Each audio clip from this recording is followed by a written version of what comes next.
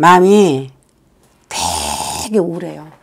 그리고 그냥 세상 근심 혼자 다 짊어져 있는 것 같고 꼭 누구하고 절대 헤어져서는 안 될 것 같은 마음 뭔 끈이라도 잡아야 될 것 같은 마음 어느 남자를 너무 사랑하는데 내가 어떻게 했으면 좋겠나요 하고 물어보러 오는 느낌 딱 그 느낌이에요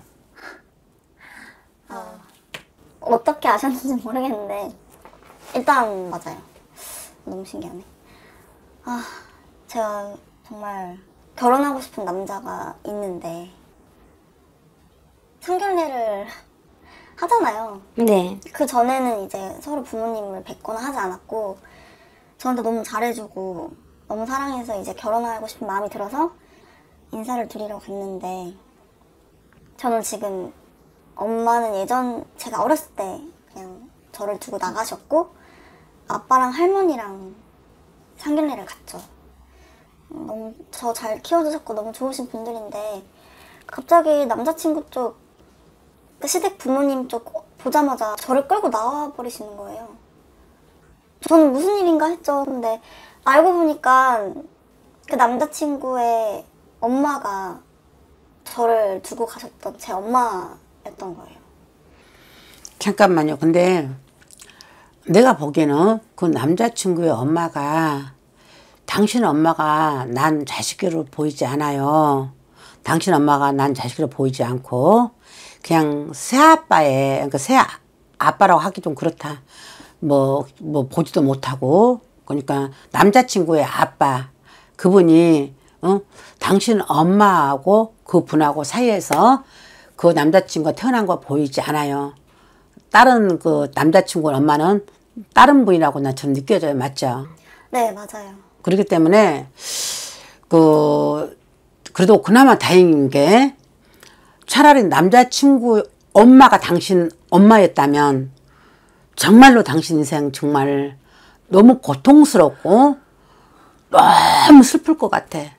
그랬으면 진짜 상상도 못, 못할 정말 지경이었을 거고 너무 드, 너무 너무 드라마 같잖아요. 사실 전 지금 제 현실도 믿기지가 않는데 그래도 진짜 말씀하신 것처럼 그나마 저는 다행이라고 생각하고 제 엄마였던 그 분도 거기에 그 새아빠를 만나서 새아빠 그분을 만나서 이제 또 자식을 낳으신 것 같아요. 근데 다행히 제가 만난 이제 제 남자친구는 저랑 피가 섞이지는 않은 거거든요. 근데 그렇다고 해도 저희 할머니랑 저희 인자하신 아, 아빠가 그렇게 보자마자 저를 끌고 나오시고 솔직히 그건 용납할 수 없다는 거잖아요. 그리고 어쨌든 결혼은 현실이 아니라 이제 미래까지 다 보는 거고 저와 남자친구만의 결합이 아니라 가족과 가족 간의 저는 또 결합이라고 생각을 하는데 시댁과의 교류가 아예 없을, 없을 수가 있나 생각을 하는데 제가 이 고민을 남자친구한테 얘기했더니 남자친구는 저를 낳아주신 엄마는 아니지만 그래도 엄마로서 키워주신 정을 되게 감사하게 생각하고 되게 잘해, 잘했었는데 이제 저, 사랑하는 저를 버렸다고 생각을 하니까 엄마에 대한 정이 떨어지고 실망을 하고 이제 자기는 엄마와 연을 끊겠다. 나를 위해서 뭐 외국으로 도망가서 살아도 되니까 결혼하자 이렇게 말을 하고 있거든요. 굳이 나한테 물어본다면 참 숙명 같은 인연, 운명 같은 인연. 참 근데 악연은 아니에요. 두 분이 악연은 아니고 둘이 만날 분이 만난 것 뿐인데 단지 참 희한한 진짜 인연을 갖고 만난 게 안쓰럽긴 안쓰러워. 그러나 굳이 나 답을 음, 이렇게 묻는다면 나한테 두 분은 결혼할 수밖에 없는 인연이고 어 이제 운명의 장난 같지만은 남자친구가 당신을 선택 끝까지 어 버리지 않고 당신을 끝까지 선택할 것이고 또 할머니 할아버지가 아니 또 할머니하고 아버지라 그랬나요? 그분들이 처음에는 너무 화가 나서 이해를 못 하겠지만은 시간이 지날수록 어 당신 마음을 이해해 줄 거예요. 왜냐면 너무 당신이 애롭고 애롭게 컸고 또 엄마의 빈 자리가 얼마나 큰지 아버지가 아시고 할머니가 알고 또 그만큼 당신이 곱게 자랐기 때문에 내 부모가 내 부모는 아니지만 내 아버지 내 아버지 할머니가 당신 인정할 거예요. 그렇기 때문에 너무 안 괴로워해도 될 것 같고 그리고 또 뭐 저 생각은 그래요. 솔직히 당신 친모 눈치 볼 필요 없고 거기에서 난 자식들 눈치 볼 필요 없고 언제부터 뭐 인연 맺고 산 것도 아니고 그렇잖아요. 뭐 나를 거둔 것도 아니고 응? 나를 보살펴 준 것도 아니고 1년에 한 번씩 나를 갖다가 전화해서 나를 한 번 찾아온 것도 아니고 아니죠. 그쵸? 난 그러, 그렇기 때문에 굳이 나한테 묻는다면 난또 무당이고 점사에 있어도 너네는 살 수, 너네는 인연이다. 너네는 부부 인연을 갖고 왔기 때문에 살 수밖에 없다. 이렇게 나왔기 때문에 내 점사에 나는 굳이 헤어지란 말 하고 싶지 않고 그냥 떳떳하게 살아라. 난 그렇게 하고 싶어요. 그리고 만약 그런다면 남자친구는 분명히 자기 아버지는 만나겠지만 그 밑에 식구들은 안 만날 거예요. 응? 당신은 선택할 거, 할 거란 뜻을 말하는 거야.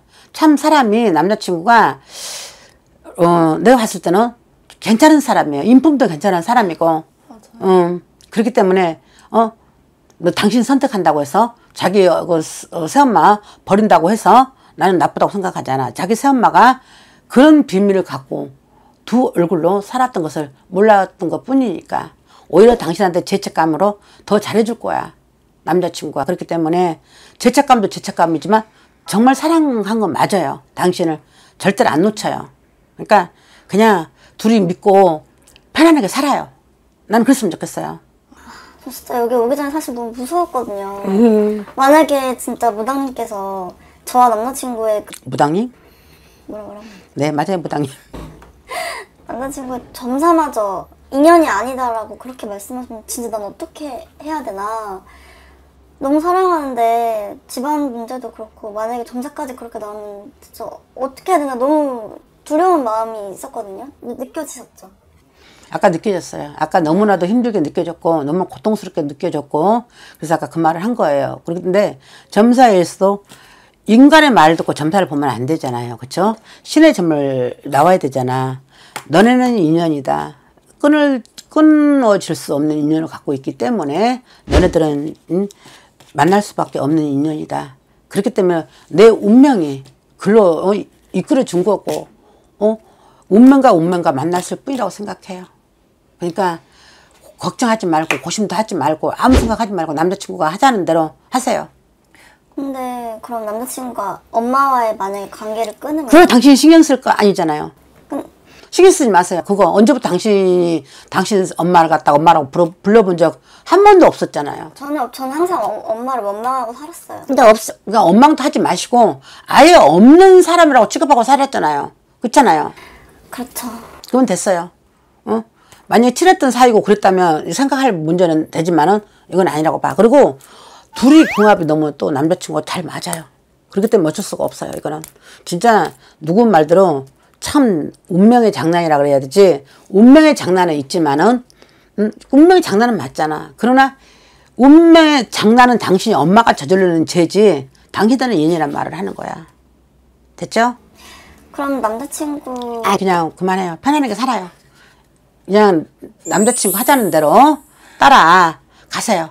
그냥 왜냐면 당신이 자꾸 걱정돼서 했던 말 또 하고 또 하고 또 하고 저한테 반복을 할 것 같아 지금. 그래서 내가 말을 끊어주는 거니까 용기 내시고 희망 가지시고 걱정하지 마시고 그냥 가서 남자친구한테 가서 나서 그래 나 오빠가 시키는 대로 나 결혼하자 나 할 거야 딱 그래요. 알았죠? 그만 힘들게 하시고 남자친구 아시겠죠? 네.